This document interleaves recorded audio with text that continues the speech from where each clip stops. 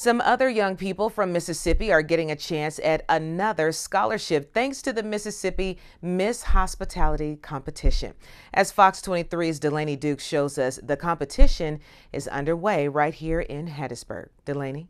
Today, these 41 contestants attended an autograph party at Turtle Creek Mall kicking off their competition day. By tomorrow night, a new Miss Hospitality will be crowned, but current title holder Hannah Grace Crane says it's a bittersweet feeling. I am just absolutely filled with gratitude for this year. Um, it is a bittersweet end. This is my last full day on the job as Mississippi's Miss Hospitality, but I just sit and reflect and just find myself feeling so grateful for the experience and the year that I've had, and so excited for whoever will follow me uh, this weekend. We'll find out on Saturday. Miss Clarke County Nia Nobles, along with her little Miss Bailey McKenzie, talks about the importance of having a Goodwill ambassador for our state. I think there's a lot of stigmas that surround our state that the Goodwill ambassador can combat. The reason that I would love to be Mississippi's Miss Hospitality is to change that conversation. I think there's a lot of negative things that are talked about in our state, but I want to talk about our resources, how we are having amazing agriculture, and how our manufacturing is one of the best in the nation.